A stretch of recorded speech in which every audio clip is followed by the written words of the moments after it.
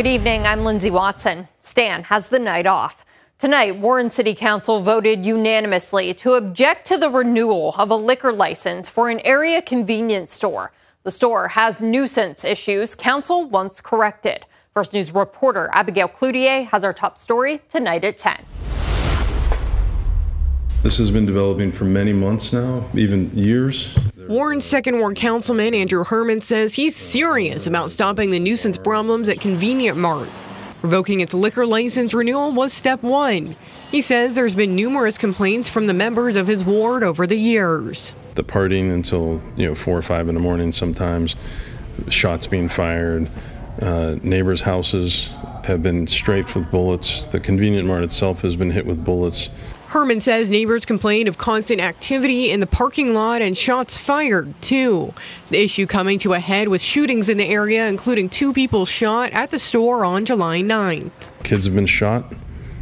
We don't want to see someone get killed. These are people with firearms turning their brains off in a public residential area. You know, it's uh, it's not acceptable. The store currently has a D5 liquor license, which allows for sale of beer, wine, and prepackaged mixed drinks, plus on-premise consumption of high-proof spirits until 2:30 in the morning.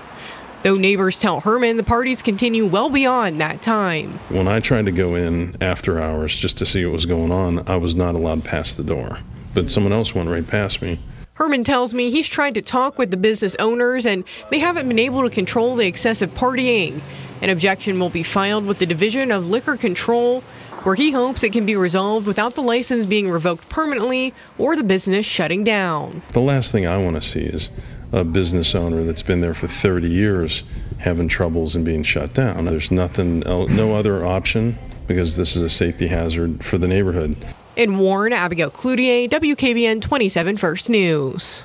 Hi, everyone. I'm Lindsay Watson. Thanks for watching the WKBN 27 First News YouTube channel. If you want more video news, subscribe to our channel. And don't forget to download the WKBN 27 First News app for breaking news alerts.